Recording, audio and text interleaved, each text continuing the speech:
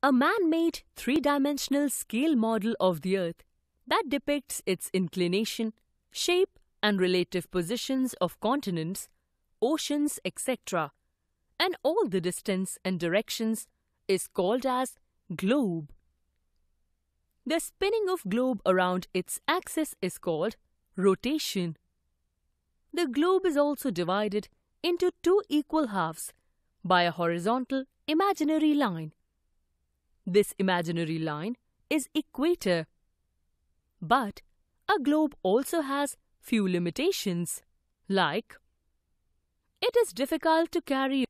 Large-sized globes are kept in libraries and cannot be carried easily.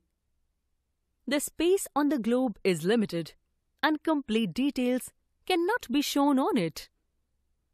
It is not only difficult to make a big-sized globe, but also difficult to handle it. A globe cannot be made for a part of the earth. The globe doesn't move on its own, unlike the earth. Parallels of latitude. These are horizontal imaginary lines drawn on the globe to find the locations.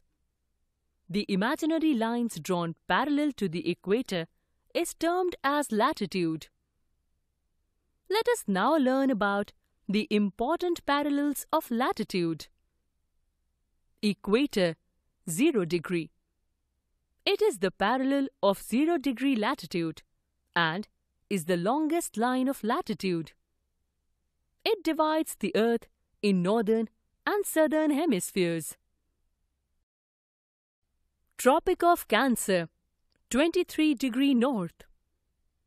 It lies in the northern hemisphere. It is located at an angular distance of 23.5 degree north of the equator. It marks the northern limit of the overhead rays of the sun.